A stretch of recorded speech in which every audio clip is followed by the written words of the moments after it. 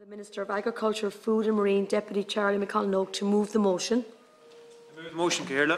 Thank you, Minister, and you have seven and a half minutes, and I believe you're sharing. Yeah, sharing with Thank you. Minister of State Hackett. Thanks, Thank you very Cahill. And I, I'd like to thank the Dáil for giving me the opportunity to outline a number of amendments to the Forestry Act 2014 to increase the planting of native trees. The programme for government outlines our commitment to addressing the urgent need to increase the level of tree planting in Ireland. We acknowledge that our planting targets are ambitious and we need to significantly improve on the rate we issue licences. These changes are part of a number of work areas my department is examining to review work processes and examine in more detail the regulatory regime while safeguarding the environment. The proposal today is designed to remove a legislative barrier to small-scale native tree planting. The inclusion of small-scale small native tree planting measures in agriculture and forestry schemes is currently contained by the or constrained, I should say, by the 0.1 hectare limit imposed by the forest definition in the Forestry Act of 2014. Approval is sought today to amend the Forestry Act 2014 through the Animal Health and Welfare Miscellaneous Provisions Bills to increase the native tree planting areas as part of a scheme by removing the requirement for an forestation licence for, firstly, an area not less than 0.1 hectare and not greater than 1 hectare, or an area of not less than 0.1 hectare that is not greater than 20 metres in width.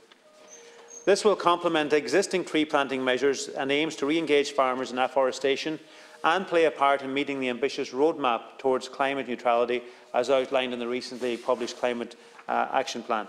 Our afforestation targets are ambitious when compared to recent afforestation rates and will be challenging to meet in the next decade. And clearly, more needs to be done to substantially increase our afforestation over the next decade, including greater integration between the measures in the National Forestry Programme and the Common Agricultural Policy. These measures are not a substitute for the ongoing work to reform the licensing process or for planting afforestation sites which remain a priority for the Department. Instead, they are another part of the solution that will assist in getting areas planted on Irish farms. Woodlands and trees provide a wide range of benefits that include social, environmental and economic values. We have 11% forest cover nationally in addition to the many additional trees found growing in hedgerows, parks and fields. Trees play an important role in climate change mitigation and biodiversity. Creating new nat native woodlands and undisturbed water setbacks can deliver meaningful ecosystem services that protect and enhance water quality and aquatic ecosystems. The creation of these permanent semi-natural landscape features alongside streams, rivers and lakes will protect and enhance water quality and aquatic habitats into the future. I would like to provide Minister of State, Habit, Minister of State, State Hackett with the opportunity to further comment on why these proposals are important. Thank you, Cahill. Uh, thank you, Minister. Thank you. Um, thank, um, as Minister of State with responsibility for forestry, I am pleased to have the opportunity to address the Dáil today on the importance of planting trees, and in particular our native trees. The Climate Action Plan 2021 sets an ambitious afforestation target when compared to recent afforestation rates and will be challenging to meet in the next decade. However, the Department is committed to addressing the current barriers which has resulted in low afforestation rate for all plantation sizes, and these measures today are part of the solution. Key to the success of increasing afforestation rates is to build back confidence among landowners of the benefits of forestry and to provide greater integration on Irish farms. Introducing this exemption for afforestation in certain circumstances facilitates the exclusion of clearly defined activities from requiring a, an afforestation licence. These changes will provide opportunities for those engaged in afforestation to increase awareness among farmers that have not considered any tree planting in the past. The design of any initiatives to utilise these measures will have to ensure compliance with all environmental law, such as the EIA, Habitats and Water Framework Directives. This is not a measure that will allow tree planting to take place that is not in accordance with best practice. In advance of the development of a scheme, the Department will be undertaking a strategic environmental assessment and appropriate assessment. Furthermore, through scheme criteria and with advisory structures and approval processes in place, the inclusion of such an exemption can only be undertaken in a legally compliant and sustainable manner. If these changes are approved by my, if these changes are approved, my department will carry out an SEA which will include mandatory consultations with statutory bodies, the public and interested stakeholders. These changed changes proposed will have a positive impact on the environment and increase the levels of native tree planting in Ireland. The focus on native tree species is to recognise the important environmental role they play in relation to climate change, biodiversity and water quality. The afforestation scheme will remain the main measure for planting native and commercial woodland at scale. Large forests of all species play a significant role in carbon sequestration and it is hoped that if a farmer plants one hectare, they may be encouraged to plant larger, hectare, larger areas in the future through our afforestation scheme. However, I appreciate that some deputies may ask that we need to address the current licensing backlogs, and I assure you this remains my priority. My department is committed to addressing the current barriers which have resulted in low afforestation rates in the past. Project Woodland, which has been established, is making good progress. We are examining a number of work streams, which includes a focus on reducing the backlog in licensing. We are examining exist existing regulations and looking at efficiencies in work processes. Once this legislation is enacted, we will carry out stakeholder consultation on the design of any proposed scheme and discuss how we can ensure maximum participation. The public and statutory bodies will also be provided to, to engage in the mandatory public consultation process required for the development, developing an SEA. Furthermore, the SEA will inform the development of the scheme eligibility criteria. In addition, the amended legislation can also facilitate additional tree planting in agri-environmental schemes and measures where tree planting measures were historically capped below 0.1 hectares in size. The role of registered foresters, agricultural consultants and advisors will be important when the scheme is being developed and we will engage with them over the coming months. Streamlining the process for native tree planting will involve the landowner or their agent assessing and submitting applications that meet the eligibility criteria, which will be subject to validation checks to ensure compliance. Once my department confirm compliance with eligibility criteria, they will issue approval to undertake tree planting works. Following completion of the approved works, the landowner submits an application for grant aid. Um, this, this, this piece of legislation um, is um, in line with Programme for Government commitments in, in relation to planting um, areas of, of hectares of, of one hectare uh, of trees um, and it, it also enables the further planting of native trees. So I would really encourage all deputies to support this amendment. It is one part of the solution to increase tree planting. Project Woodland is addressing a number of other areas of improvements which contributing to increasing our afforestation levels now and in the future. Thank you. uh, Minister. And now we have uh, Sinn Féin and we have Deputy Matt Carthy. And Deputy, you have seven and a half minutes. Garmaigat Cairlock um, and welcome to the ministers. Um, I welcome any proposals that um, are aimed at increasing native planting and encouraging um, smaller levels of afforestation among those who may not be willing to or able um, in the current text to take a leap towards um, greater um, greater levels of planting. But I have to say the manner in which this um, proposal has been brought forward um, so late in the day um, as an amendment to a piece of legislation that is banning fur farming um, to me is a matter of great concern and it's very um, symptomatic of the whole manner in which um, forestry policy is dealt with um, in this state. We received this proposal on Friday. We received a briefing, which I welcome from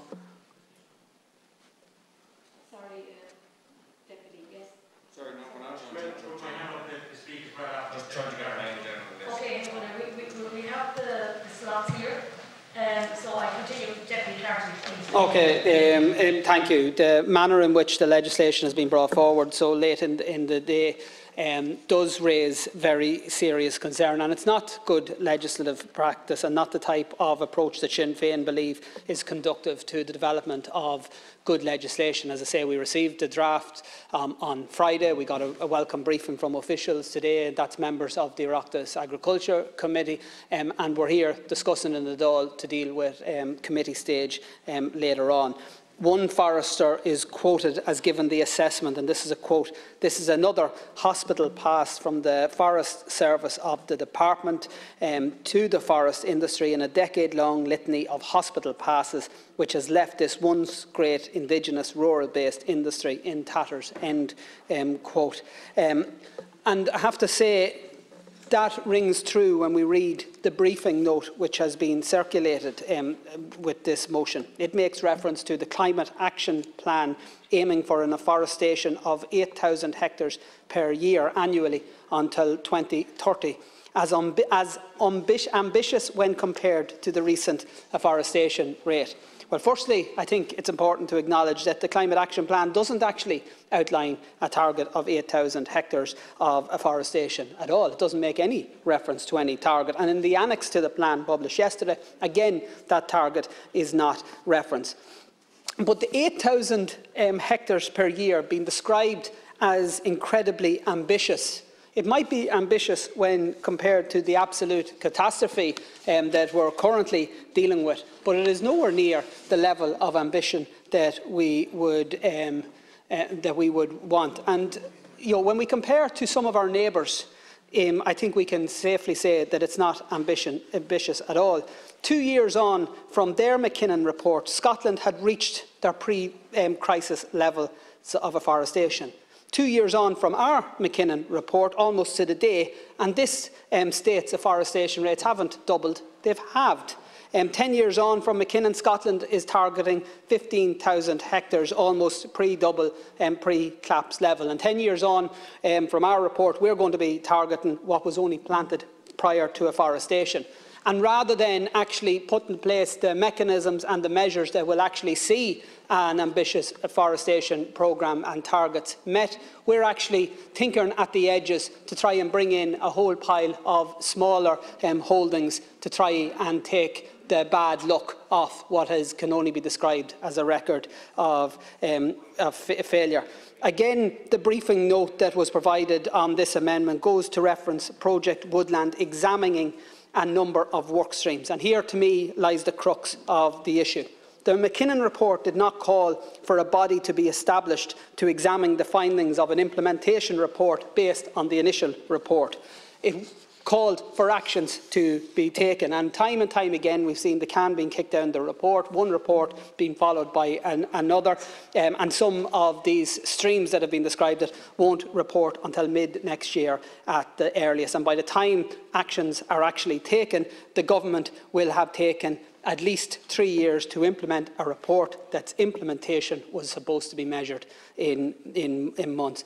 So supports for native broadleaf leaf planting are absolutely to be welcomed. But if this is the big idea, then it really does amount to a hospital pass and will have little meaning with regard to much of the forestry sector. The current biggest obstacle to afforestation in this um, state is the licensing backlog within the forestry unit, with a current target of 100 licences per week what um, the department are effectively doing is surrendering to the fact that we have no intention of clearing that backlog by the end of next, next year. So the annex to your climate action plan does reference increasing output of forestry licences to meet demand by quarter four 2020. So I think it would be important in their closing remarks if the Minister would outline what the target output per week is for next year. Do we intend to meet the target in the spring legislative agenda? We'll see in a few weeks' time. Will we see the Department beginning work on legislation to provide applicants for forestry licences a statutory period in which they can expect a decision? Because if the licence is to be cleared by 2022, there is no longer any excuse why such a measure would not be provided, and there's no reason why the Department would not begin on, um, on preparing such legislation um, today. Um, I have to say, in respect of all of this, as I mentioned at the outset, this is far too um, symptomatic. Last year, we had emergency um, legislation in respect of the appeals process. This House, all parties, um, and the Oireachtas Committee waived pre-legislative scrutiny. And this is too familiar um, that we're now dealing with an amendment to a piece of legislation that has no relation to forestry um, at all. I hope you'll acknowledge in your closing remarks that this isn't the best way of doing business. And there's too much, in my view, um, um, latitude being provided to you that you haven't earned in terms of the trust of this House. So what I would ask you also, um, in respect of the schemes, that we don't wake up on a Wednesday morning to read about the schemes in the Irish Farmers Journal and then receive um, phone calls from constituents as to how this actually meets. That's the playbook that your department does all the time. It leaks selectively um, in respect of the schemes,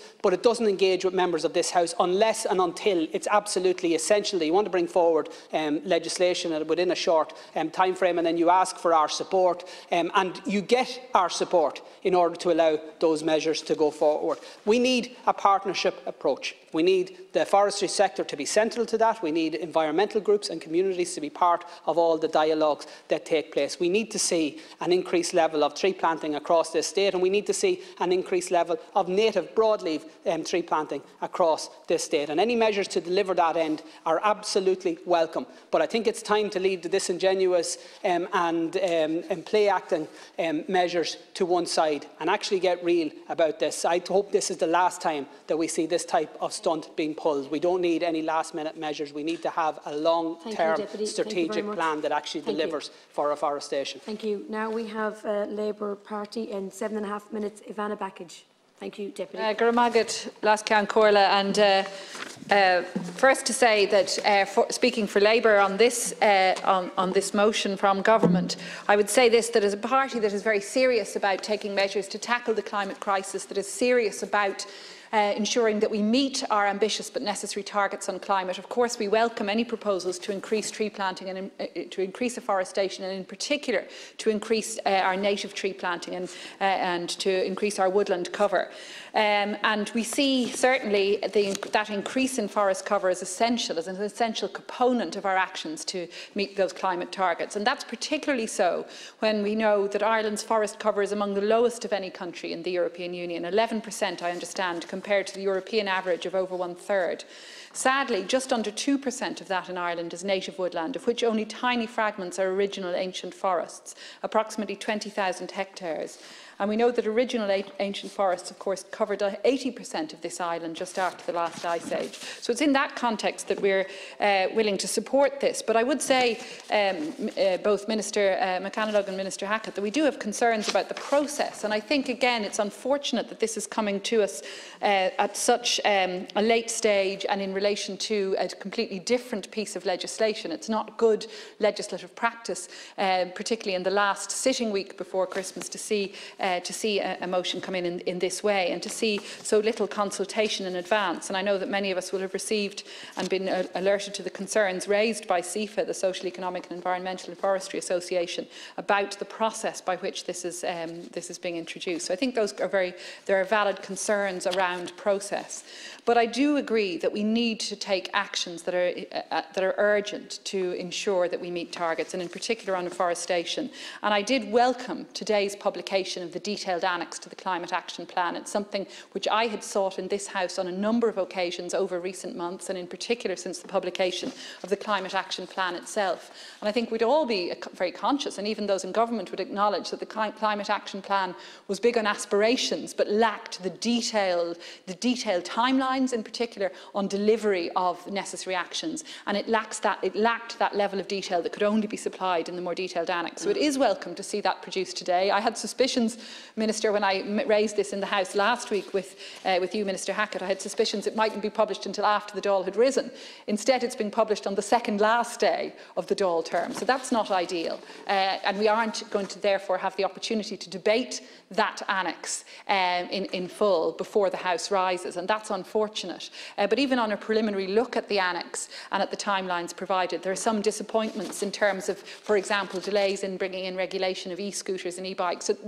you know, some very welcome matters on the transport side in terms of increasing cycling infrastructure and active travel and public transport, but we, we're seeing a lot of delays, a lot of lagging behind in, uh, in, in, and, and certainly not the necessary sense of urgency that I think we had hoped for in, in this annex. So I do hope we'll have a fuller opportunity to debate the annex, the afforestation targets and the other targets set out in the annex and the timelines on those. I hope we'll have a chance to debate that early in the new year. And I'm just putting that down on the record today that I'll certainly be looking for that debate through the Business Committee early in the new year. Um, in, in this motion, I think we also are, all have, other, have concerns about the licensing backlog, and indeed I raised it in the House with you last week on the 9th of December. Um, in raising a question about the number of afforestation licences issued uh, and, um, and uh, indeed we then had an engagement and a debate on that and there were many other colleagues uh, on both sides of the House I think who shared concern about that backlog and who shared concern again about the delays in delivery of, of ambitious projects like Project Woodland, uh, welcome though that is. So I think Minister you acknowledged yourself um, last week that what has been lacking to date in the forestry sector is a coordinated and joined up afforestation policy fitting within and clearly uh, helping to deliver on the necessary climate action targets and fitting within the climate action plan overall. Uh, and, you know, in that context, I suppose just to conclude by saying that I think we should all be concerned not only about low levels of native woodland cover, which I've already mentioned, but also about uh, the fact that we continue to cut down more trees than we're planting, uh, that for every acre of forestry we plant, we're cutting approximately 6.7 acres, and that that needs to change if we were to meet those ambitious but necessary targets. So I, I raise these concerns and these reservations, uh, but in the context of, um, of supporting the, the motion. Cormac. Um, now we have uh, Social Democrats Deputy Holly Cairns, and you have seven and a half minutes, Deputy. Thank you, Cahirlook. And um, I won't be using all of my time, so I'll be giving the rest of it to Deputy Jackie Cahill, if that's okay. Thank you. Um, in many ways, I welcome this bill and any changes that will help improve animal welfare and afforestation. Um, regarding the phasing out of fur farming, it's fair to say that this is a situation of the law catching up with societal changes. The majority of people are deeply uncomfortable with the idea that an animal would be raised for the purpose of using their fur or skin. While there was a time when this was acceptable and fur clothing was sought after, we have moved on. As a country of animal lovers, it is overdue that we phase out this practice. This bill provides a mechanism to compensate those whose livelihoods depend on fur farming. It is a fair approach that acknowledges the impact of the legislation. This represents the type of arrangements we need to help farmers and others move from one practice to another. The amendments to the Forestry Act are a sensible and overdue change. This will allow the small-scale planting of native trees as part of agriculture and forestry schemes. This is something I've advocated for to encourage farmers and landowners to increase our afforestation of native broadleaf varieties. Sections of forestry on all farms will not only help increase our overall afforestation goals, but will foster greater biodiversity and facilitate wildlife corridors. Um, it's something I've mentioned before in this House, but I think it's important to mention it again. There is a kind of aversion to the planting of trees in Ireland on farms, and um, it's something that we did uh, on our farm about 15 years ago when it became um, unviable in terms of dairy because of the change in the industry and how small our farm was. And I've said it before that I remember in the election somebody saying they wouldn't vote for me because we had ruined that farm with trees. Um, and we still, you know, farm half of it with beef, but the, the of the farm is now seed production. But I have to say that even though there was a kind of resistance to doing that in the first place, the forestry is now our favourite part of the farm. Um, so people should give it a chance. um, these legislative changes are important to address the concerns of farmers who have called for greater assistance and less bureaucracy in facilitating tree planting. The policy and regulatory changes that will follow this legislation need to adhere to this principle to enable as many small farms as possible to avail of the schemes. However, this move cannot detract from the need um, to clear the forestry licensing backlogs and the greater afforestation strategy. We need consistency from the government on these issues, and I've sought clarification on the 7 uh, million in capital expenditure, which is due to be moved from the forestry budget. Um, and I'm currently working with the community in Riverstick and Cork to prevent um, the sale of a substantial part of a public forest. And I appreciate if both the ministers would look into this because I don't know at a time when we're trying to meet our COP26 obligations and all of that, why would we would be selling um, public forestry, um, you know, of, of mixed species like that. I just don't know how we square that circle with our commitments. Um, while the amendments to allow small-scale native tree planting is a positive development, we needed to form uh, part of a holistic forestry approach. Um, and just finally, I'm, I'm not a member, I'm not, unfortunately not a member of the Agriculture Committee, but in speaking to members, um, it seems these two changes being lumped together has come a bit unexpected and last minute and unexplained. So I'd echo their calls uh, for clarity and more information on this and uh, an, an, explanation from ministers and their replies would be great. Thank you, Cahirlock. Thank you for sharing our time with me. Um, it's very much appreciated. And I'd also like to thank the Minister and his officials for arranging to give a brief to the Oireachtas Agricultural Committee this morning.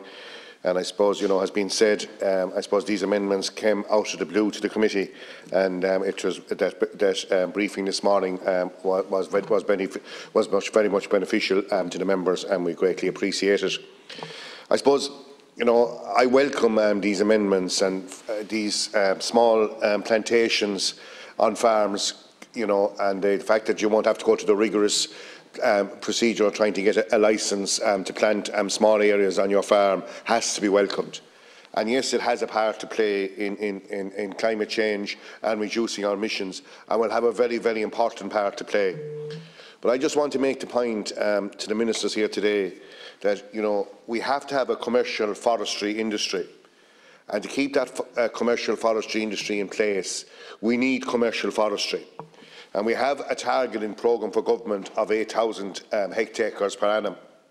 And I would um, urgently plead with the ministers to keep that target in place for commercial forestry.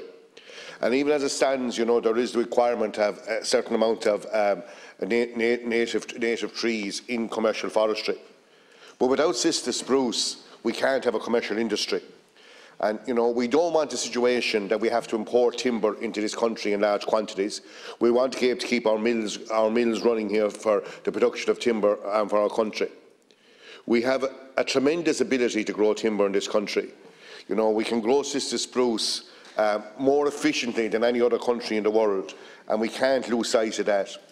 And whether it is to keep timber contractors in work, or you know, to keep the to keep the to keep the nurseries running, and you know, to, as obviously to, to, to have a commercial industry, we need to have this 8,000 target for commercial, commercial forestry.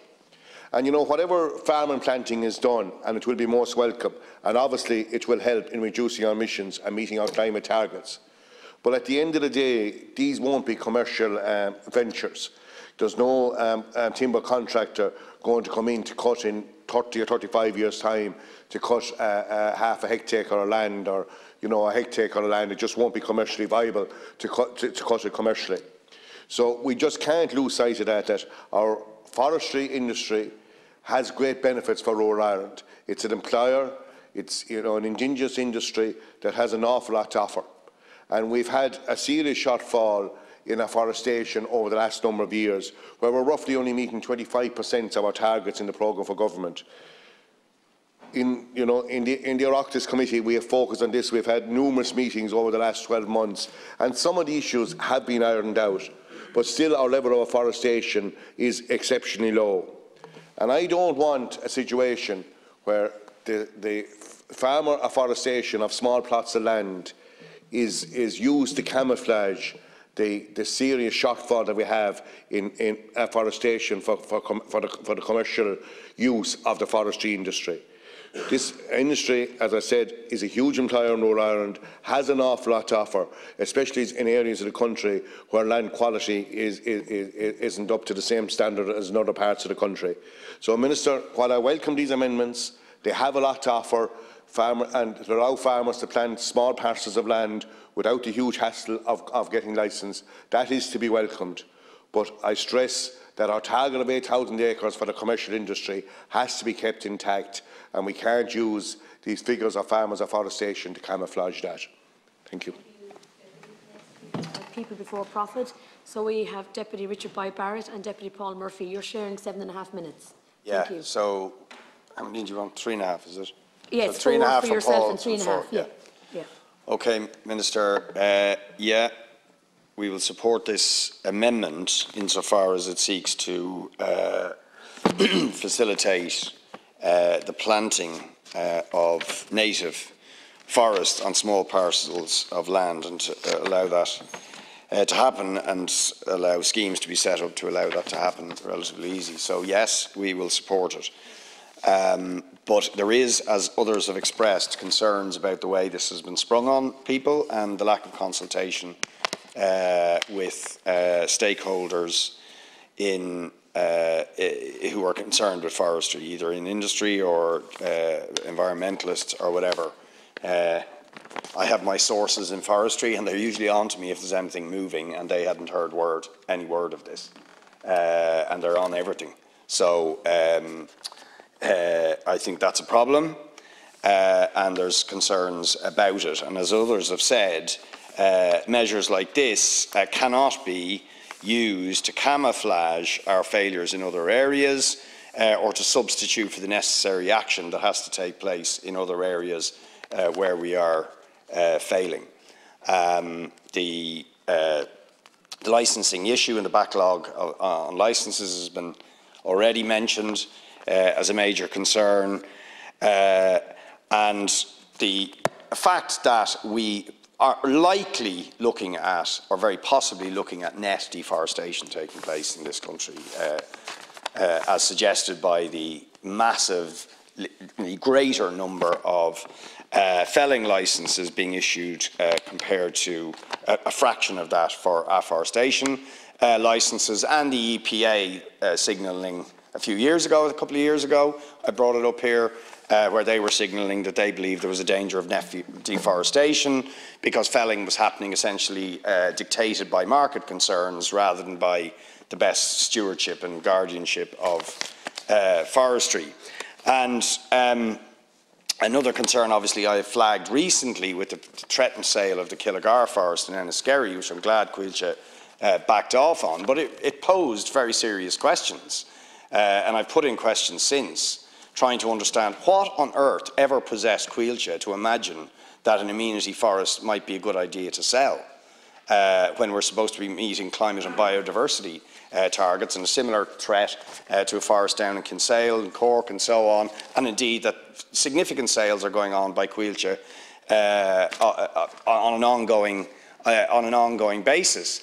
and that is linked to the mandate of Coillte uh, which at one level we're told are trying to re, re pivot uh, towards biodiversity and so on, but in reality, uh, are much of what they do is about replanting, clear felling, Sitka spruce, and then replanting 90 to 95 percent uh, Sitka spruce, perpetuating a failed, uh, a failed forestry model and not doing much in the way of actual active uh, afforestation. And against that background, the idea that they're selling off amenity forest and that there could be any possible justification for doing that uh, just seems to make absolutely no sense and suggests there's something fundamentally wrong with the mandate uh, of uh, being operated on a sort of commercial uh, basis. The other thing, obviously, relating to Deputy Cahill's point, I mean, I'd like to think we, we can break from the Sitka spruce industrial forestry model, but what if we're going to do that, which I think we have to do for climate and biodiversity reasons and for all sorts of reasons,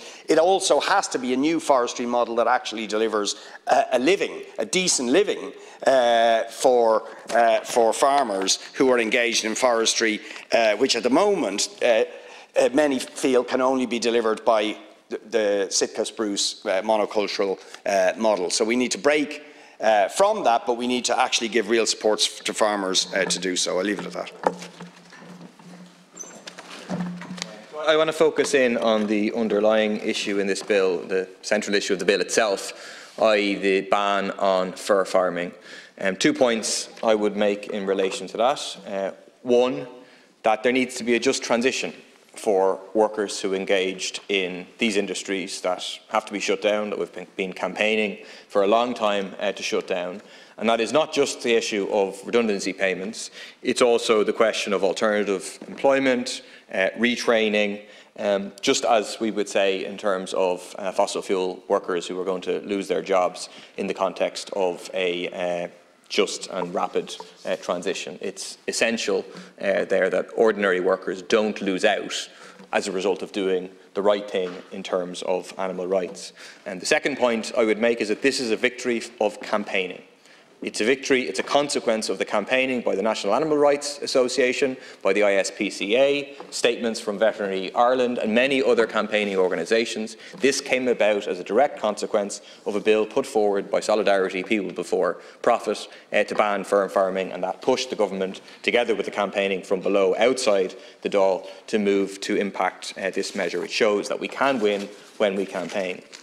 So that brings me to the next point, which is that the next emerging issue here in terms of animal rights in this country is going to be the bill which will be moved at second stage in next year to ban hare coursing, uh, to ban this cruel practice um, which leads to unnecessary tens of deaths of hares every year, unnecessary injuries, mauling, etc., of hundreds of hares every year, uh, where actually hare coursing, when hare coursing is uh, taking place. A practice which has no support in the public. 77% of people uh, agree with uh, banning it. And the question is going to be for the Green Party. Are you going to go against your long-term policy of supporting a ban on hare coursing to back up your partners in Fianna Fáil and Fine Gael and vote against a ban?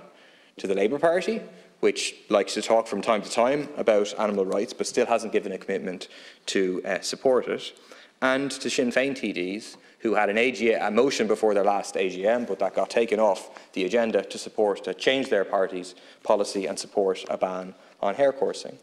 And obviously those who have been watching what happened in the north in relation to the motion on fox hunting will maybe not be feeling very optimistic.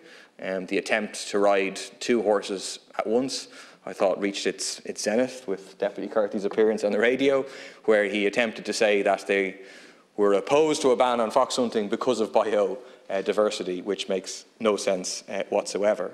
But I would appeal to, um, to campaigners to take heart from what happened uh, yesterday in Stormont in terms of the vote on abortion, that Sinn Féin can come under pressure. So for animal rights campaigners, for members within Sinn Féin who support a ban on hare coursing, to put pressure on the party uh, leadership and to say to them, don't be on the wrong side of history on this issue. Support a ban on hare coursing when it comes before the Dáil next year. Thank you, Deputy. Next now, now we have the regional group. So we have uh, Deputy Verona Murphy, you have four minutes, and Deputy Sean Canney, you have uh, three and a half minutes. Thank you. Thank you, Chair.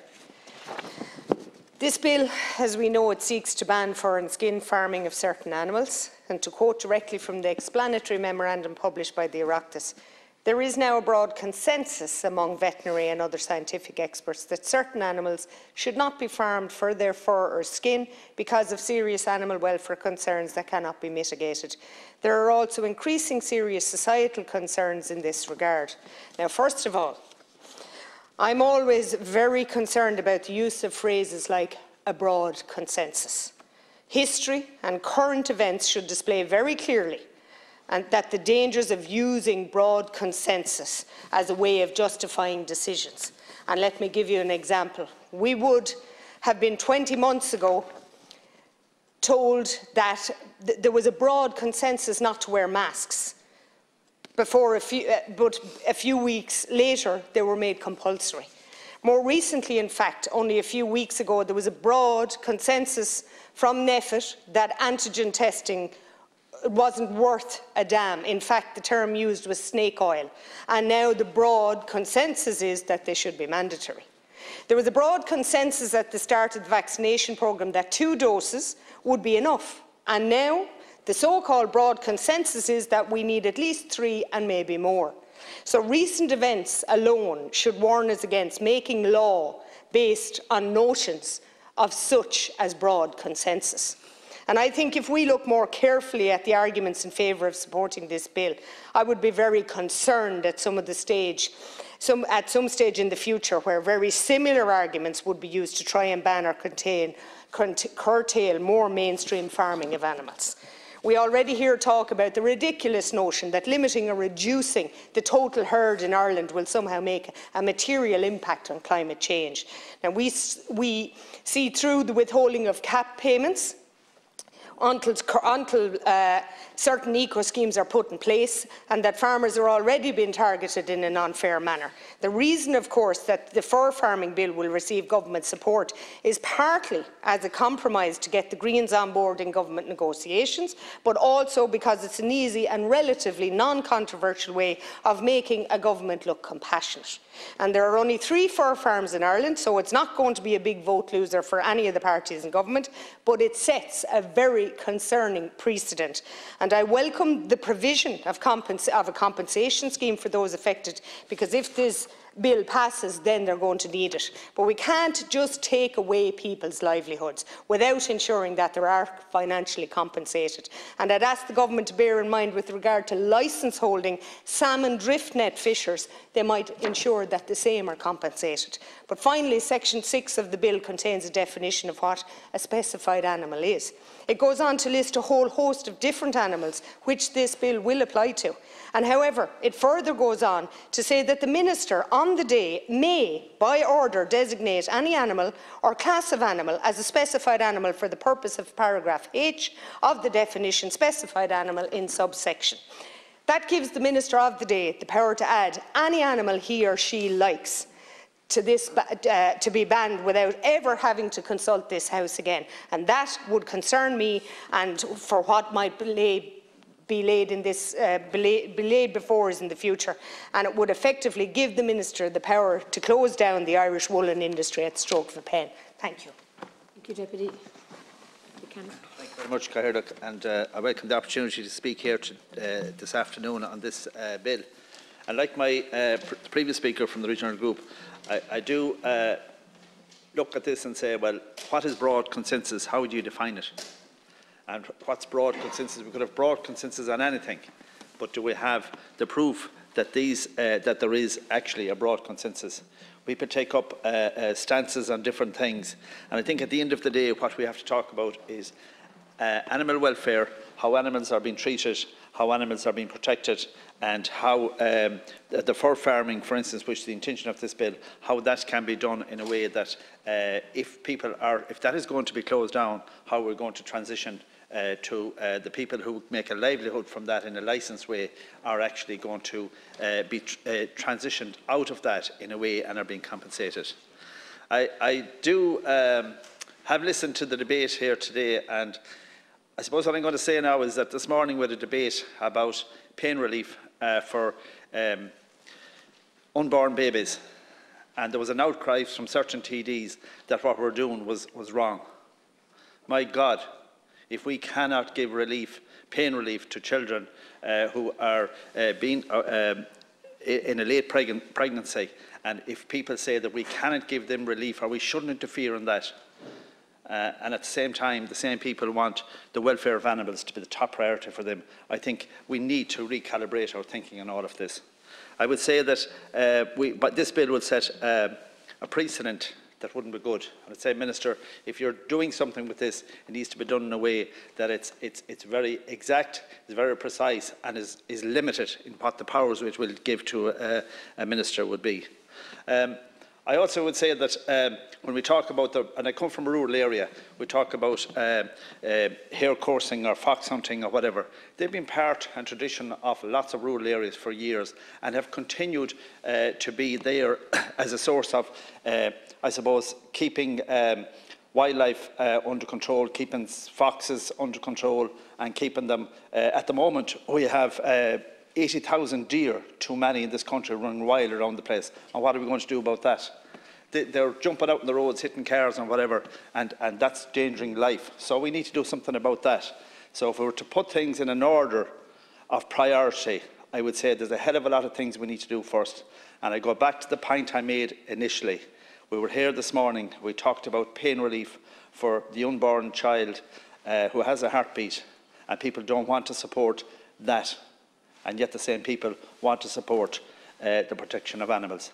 I agree that we need to do that, but we need to make sure the priorities are right and that we deal with human beings first. Thank you very much.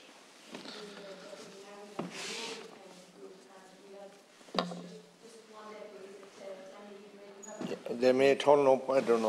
All right, all right. You have seven and a half minutes anyway. All If right. you want to share, that's fine. Th- Thank, thank you very much, uh, Cahill. I suppose, ministers, um, I have to say to you that uh, I hear you talking about planting native trees, but you have the forestry industry finished. For a long time, I thought it was uh, department officials were lagging.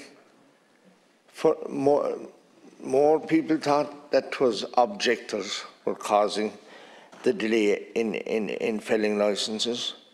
But now I honestly feel is the government and these ministers that are um, uh, have the whole thing finished completely. I honestly be- believe, Minister, and I always say what's in my, in my head, I believe that he don't want to cut spruce, and he don't want to replant spruce, or he don't want to plant uh, spruce anywhere. It's totally against your will, and, and I, I, it's against the grain with you. And you see, uh, I have been told, I, I'm nothing against native trees, but we, we need commercial, we need commercial timber as well. And we see that, um, that there's a backlog. The backlog is so much, in, uh, we've gone so far behind now with felling licenses that timber has increased to an unacceptable level and, and, and it is preventing people from building houses. A stick of timber that was for many years was 20 euros, uh, a 6.3, that's now 38 euros. And it's the same with every other type of commercial timber. It's practically doubled in price, in, in, in prices and uh, uh, in price, and it's having a detrimental effect. But I honestly believe uh, that he don't understand the value of spruce. We are told that that uh, spruce uh, sequesters. Uh,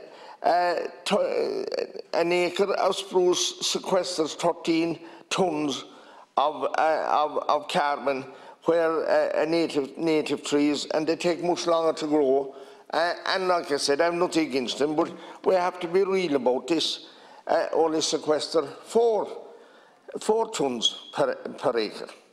So, uh, I, I, he haven't made one iota of a difference or, or help to the to the, the, the license situation, and I, I, I have no, I have lost faith, and we, we have spoken so much about it, and the, the, we're still where we were, uh, as I see it, and um, people uh, uh, have have walked away from planting trees because they see what's happening to the people that that want to to cut down trees, and and and and in some cases wanted the money for, for, for real things like sending children to college or from, or to, to, help do up a house for a, a man that, you know, uh, got immobilized and he wanted to, you know, make his house uh, put in order so that he could manage a wheelchair it. He,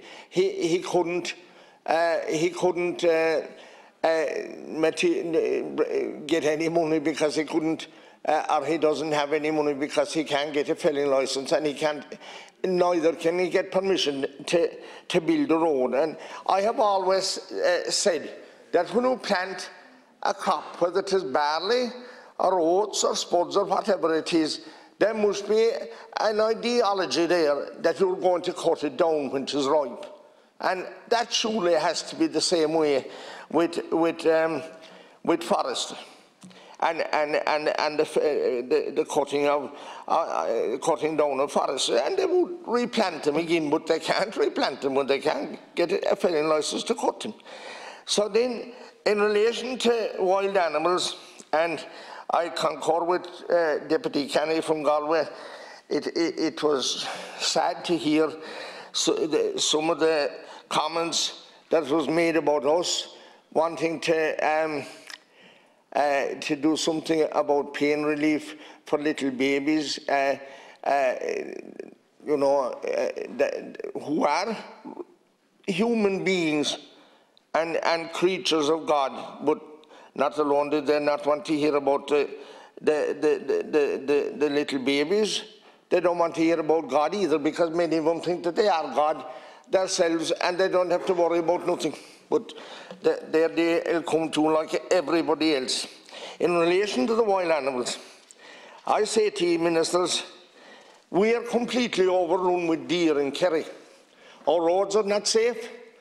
I, a youngster the other morning, he, he, after going to the trouble of getting his, his driving test and buying a car and getting expensive insurance, at, at a quarter past seven in the morning, a deer ran out in front of me, made flitters of, of his car that he was after giving a lot of money for, and, and he's, he's finished now. At this stage, he can't go to work. His car is out of action before he really got going at all.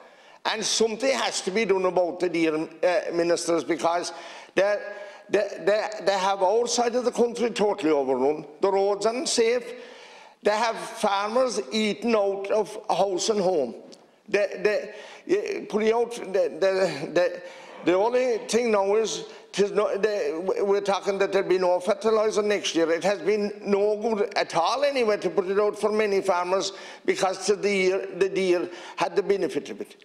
Then about foxes, there needs to be some, uh, uh, some control taken of the foxes as well because it is absolutely horrible and any we don't, maybe many we don't realise uh, what happens when, when, when a, a lamb is taken or when a couple is taken. And the, the devastation that that is for, for, for sheep farmers that, that work hard and, and have to traverse mountains and glens and valleys to see after these sheep and to think that maybe 30 or 40 sheep out of a flock finish up every year without any lamb because of foxes. That's the gospel truth, Minister. I don't know if you understand that, uh, but we're, we're completely overrun and there needs to be some policy or so, something, uh, uh, some government action taken to deal with the deer and, and the foxes and more so the deer because people are being hurt, people are being killed. A mother of three children killed coming into Killarney uh, within a half a mile of the centre of the town. That's the gospel truth. We need to do something about real issues and, and, and, and this is your time, your ministers for, for this time. I don't know how, for, for how long, but if you want to, to prove your worth, you must do something about these issues Thank you, Deputy Thank you very much. Deputy Michael Fitzmaurice. And you're sharing with Deputy I want to give him uh, two and a half minutes. Um, I'll be fairly brisk. Um, Minister, first of all, I think the, the largest part of this bill um, was in relation to the cull of the mink. Um, I think we need not forget those people because those people seem to be um, kicked down to the side with these new amendments that has come in. Um, I think fair compensation has to be given to them. They have worked with you in every way. Some of them will tell you very clearly that the department hasn't been um, as helpful to them and working with them as they should be, and proper compensation for those people who have facilitated you in every way um, needs to be done. And then at the bottom of the bill, in sort of what I would call in rural Ireland a half-arsed manner, we have thrown in a few um, uh, amendments about forestry on a bill about mink. I just can't get my head around it, but look at, uh, I suppose this place would baffle you every day. Um, and to be quite frank about it and call a spade a spade, Minister, um, you are bringing in uh, basically uh, a document or a, or a way forward of ticking a box that Ireland will reach its target and that you'll be able to do a press release to say we'll reach the seven or 8,000 hectares under climate. Um, but to be quite frank about it, we won't have done it the way we should have done. And there's one simple reason, and every deputy on the committee here that's, that, that's on the agricultural committee will tell you straight up, we're blue in the face telling you about your department that's dysfunctional, that since 2016 has never reached a target, would you keep persisting with the same piano players and you're going to keep getting the same tune. Um, the bottom line on it is this bill Fine, we'll all support it. I don't think anyone has a problem with it. We've said about this how, how, you, how farmers should be allowed to plant a hectare. But why in Northern Ireland, if you're where Matt Carthy is from? Why if you cross this invisible line? They can sow three hectares without planning, without licenses. But where Matt is from, you, have to, you can't do anything. You have to go through reams of paperwork, wait three years for it.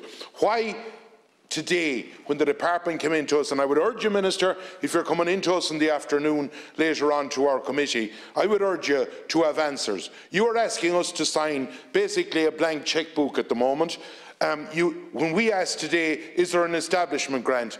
Oh, well, that'll be down the road when we put the thing together. Is there so much a year? Oh, well, that'll be down the road when we put the terms and conditions together, when we talk to this people and that people. When you talk to the forestry industry at the moment, they have lost confidence. That's the first thing. Why, Minister, or is it the green dream that it's going to be all native woodland? I see pine is within it. Well, now, I won't say it in here what I think of pine, because I've seen pine growing around the country. And I'll tell you one thing, it should never have been sown, in my opinion, because it was the worst timber ever you'd put in. As, like, does, why haven't you done the wording of forestry? And if you want to sow whatever native species, or if you want to sow pine, even though I wouldn't be a great fan of it, or if you want to sow a bit of spruce in a corner. I have seen down the country where farmers and, and, and, a field is generally square. And when you're mowing a field, you go around in a semicircle. They had what we call shelter bells. And they could be different. I often seen spruce in it. They never done a bit of harm. I often seen all native timbers in it. Never done a bit of harm. Great idea. But what, if you listen to, the, to your department today, what they have said, that anything I think less than 0.1 won't come up in the carbon counting. But it will come up when you do your dashboard telling every one of us every week, oh, well, we're great now, we're at 5,000 hectares. The reality of it is, in afforestation in this country, at the moment, we're cutting six hectares to every one we're planting. Ye have not addressed that issue. The reality of it is that at the moment, there is, I think, something like uh, 45 licences in the last month and 36 before that. It's a disgrace what has happened to people that want to plant in this country.